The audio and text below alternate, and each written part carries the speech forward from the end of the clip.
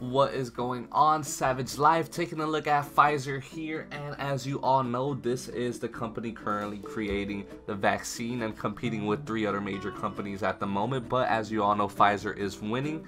And you all may be confused as why the price is tanking. But let's go ahead and see what the future prospect of this price is going to be looking like. Now if you don't know Pfizer has was founded in 1849 so it's been around for 150 years of, or so. And if we're talking about reliability this here this company here is not going anywhere anytime soon. So no need to fear if you're losing a bit of money here. But let's go ahead and see what's going on with Pfizer now, Pfizer began shipments in the US of its COVID vaccine, and the first vaccinations were given this week. It endorsed Pfizer's vaccine a week ago before the FDA granted formal authorization Friday to begin distribution. Healthcare workers lined up at locations across the US to get some of the first injections of Pfizer's vaccine Monday. FDA staff recommends watching for Bell palsy and Moderna and Pfizer vaccine recipients which is the reason the stock price did drop a little bit. It was released on an article from Moderna where they tested 30,000 participants, but only 4 out of them ended up with Bell palsy. And you say only 4 out of 30,000 is 0.0%.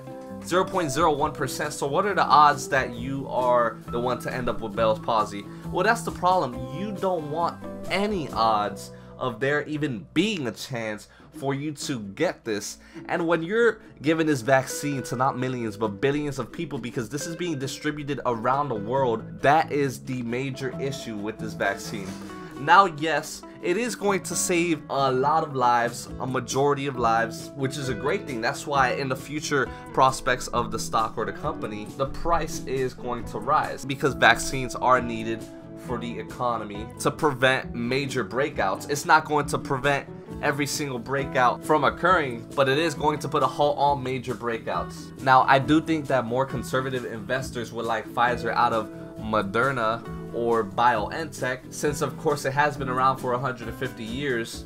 They're a successful company over the long term and they have lots of other products already on the market, other growth drivers. Their Rona vaccine is obviously a big plus for Pfizer, but it's not the only thing backing up the company, whereas Moderna, the vaccine is pushing this stock all the way to the roof. The support on this company is built on Moderna. None of their products have been approved as of yet. So what happens when this vaccine goes away? That's gonna spell a big trouble for Moderna unless their mRNA medicines become approved and able to sell over the counter in the future. So if you want stability, Pfizer would definitely be the way to go. They do pay dividends as Yale has an amazing financial strength and growth prospects over the past five years. It's been up 20%.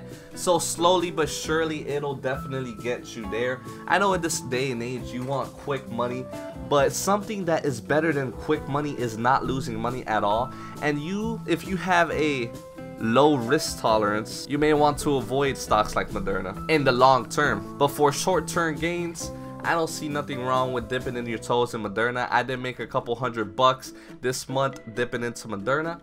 But let me warn you, she is feisty. Now, by the end of this month, we are looking at a upside potential most definitely on these three stocks here Moderna, BioNTech, and Pfizer. Over the long run, if I had to guess, I would say probably Moderna may have the potential to be the biggest winner if their other pharmaceutical products get approved.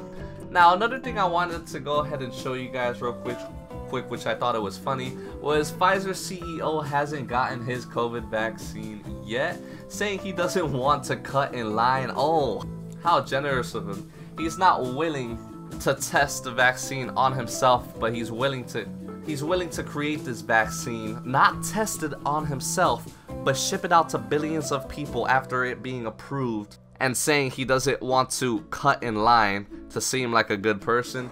Now we're gonna go ahead and see what happens with this vaccine. Keep an eye out because if major side effects do occur, in the coming couple of months, this is not going to affect just these three pharmaceutical companies here. It might affect the whole pharmaceutical industry. So keep that in mind when buying into these pharmaceutical companies here.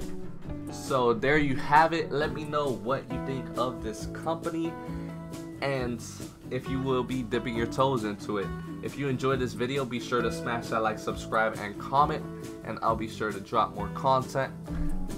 Stay tuned. I upload 10 a.m. Mondays through Fridays, so stay tuned for more content. Catch you on the next one.